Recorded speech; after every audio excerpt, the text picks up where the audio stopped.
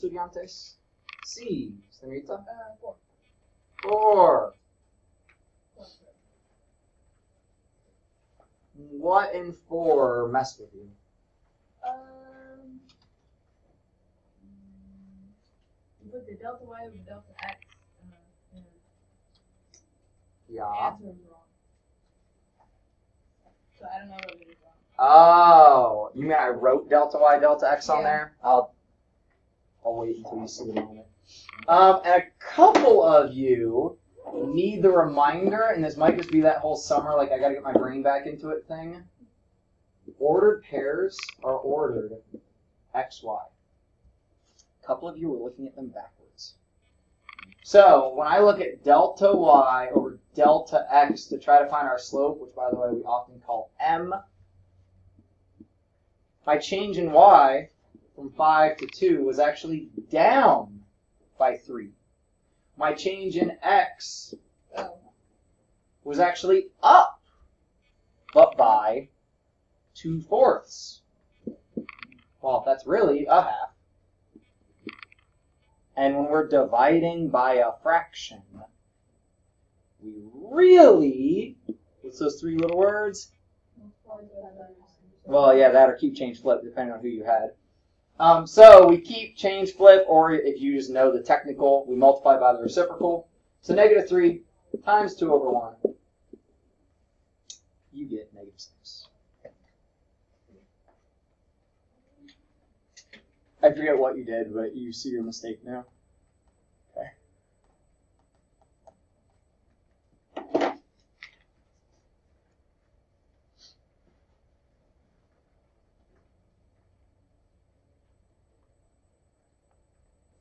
By the way, if you guys need um, graph paper, line paper, pencils, pens, highlighters, uh, I got all that stuff. If it's not on that middle table there, ask me, I'll get it for you. Uh, colored pencils up there at the front under the chalkboard. Rulers, protractors, compasses, all that stuff should be right there in the middle table there. What else, Jenny? Twenty-one. Ooh, anything else on the front page? People, let's go front page. Yeah, Ava? Uh, eight. Wait, wait. I will not. Just Yeah. isolate your isolate your at y. that, Yeah, work Oh, PEMDAS backwards, isolate the y.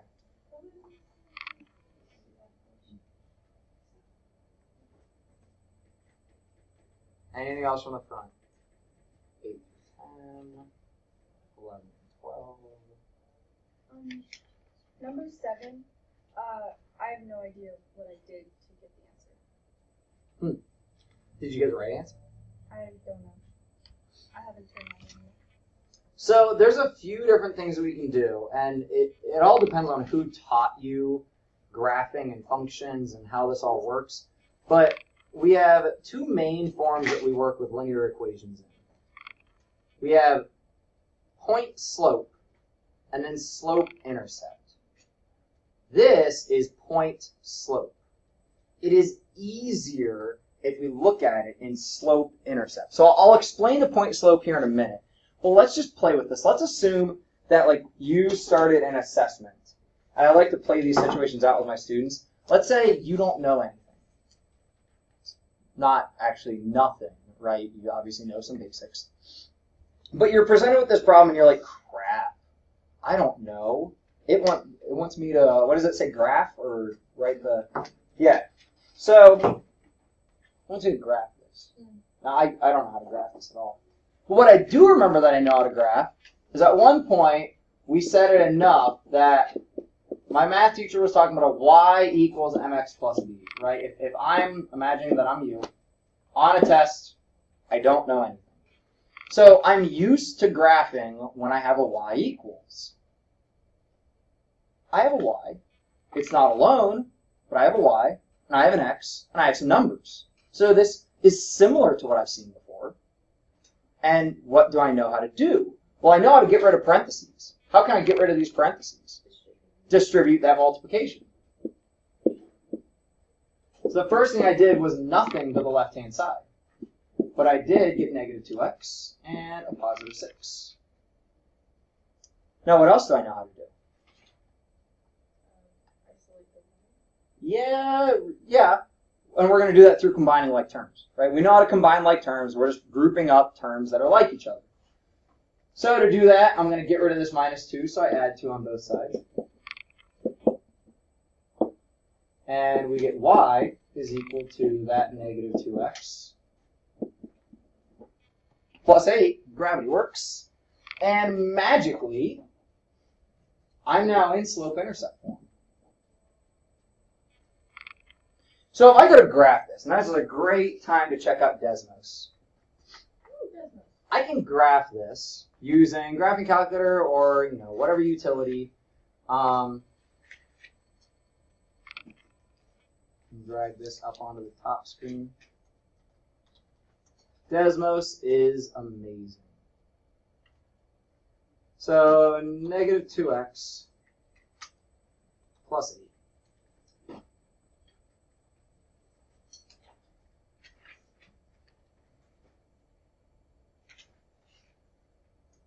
Can anyone relate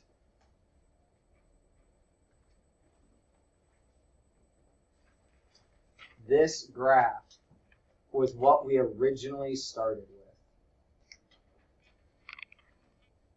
And my computer won't split screen since there's a screen on the right here that it can go to. But this graph right here. So that what we started in was called point slope.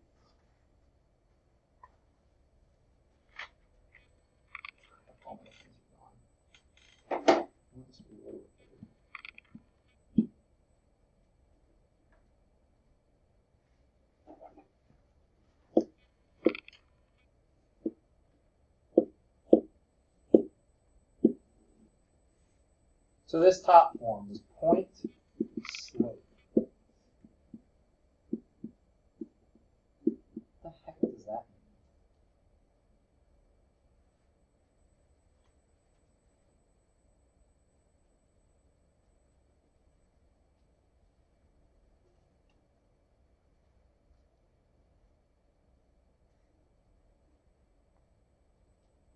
Nobody knows point slope.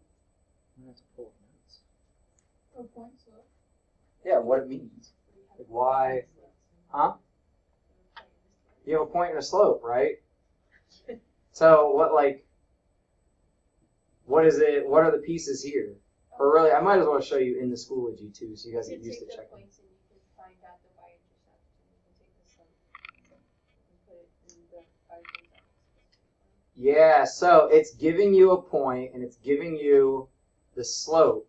And based off knowing the point and the slope, you can then start at the point and then work. Ooh, hi, zoom in. Work using that slope. So what was this is chapter three. If you guys were to look in this chapter three folder, uh, slope intercept form here, your y equals mx plus b, and point slope form here. So this goes through, you've got any point, like the y and the x are your variables. Those are any point that's gonna happen. These values are the point that you know. So let's say, crap. Sorry. Keep clicking when I don't want to click.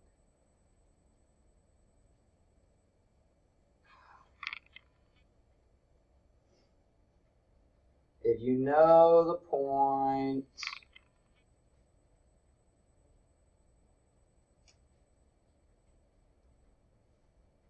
two, five. So you gotta realize x value here, y value there, and they're counterintuitive.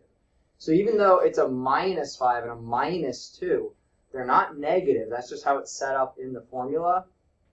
It's gonna be y minus the y value of your point, x minus the x value of your point.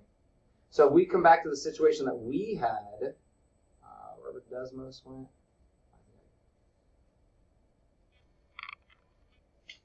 We had an x of 3 and a y of 2, right? When I look at my graph, an x of 3 and a y of 2, this point right here is where that formula was telling me to start. And then this negative 2 tells you the slope that's happening to it. So when you're given an equation of point slope form, all you do is have x value, y value, slope, and that's it. Then you can manipulate it to get it to slope intercept. Or from slope intercept, you can find a point and put it back into point slope. So there's actually infinitely many point slope formulas that I can use for this because there's infinitely many points that I could choose. So let's say that you were given negative 2x plus 8 and asked to put it into point slope, which I'm pretty sure is um, another part of this assessment. Write this as point slope. Let's say you were starting with this, wanting to write it as point slope. Who's got a favorite number? Seven. Seven. Okay, love it. If I plug in seven for my x, let's see what happens.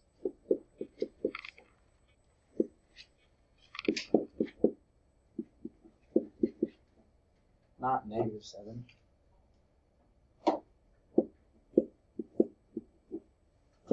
Negative 14. Uh, negative 6. So now to put this into point slope, I know my x and I know my y. y minus negative 6, so this is actually going to become plus, equals the slope of negative 2, which I was told to begin with, x minus the x value of 7. Here's another point slope form of that equation. So if you're asked to find point slope, just pick an x plug it in and find the y that goes with it, write it out using the slope you've already been given. Preguntas. Think most of you already took Spanish one. Preguntas means questions, and it's just fun to say.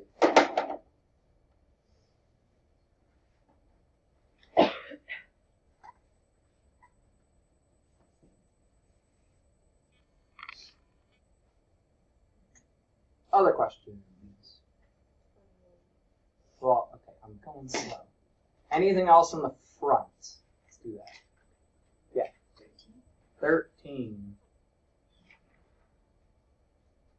So, sorry, exactly what we were just saying. If you're given this, actually, this is even easier. If you're given the slope and given the point, the work has already been done for you, actually. You just have to formalize it. So it's good to get in the habit of writing the generic before you write the specific. So my generic point slope is y minus the known y points equals m times x minus the known x point. This y1, x1 just means that I like I've identified them. This is point one, quote unquote. So when I plug this in, it becomes y minus the y that not equals y minus that y value. The slope x minus that x value. Clean this up a little bit.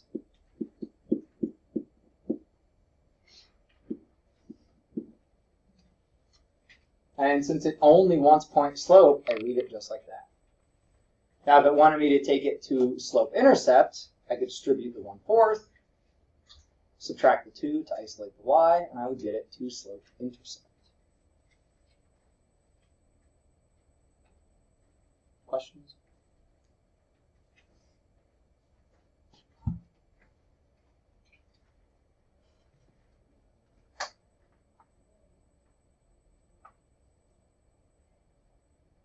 On the back, 15 through 20.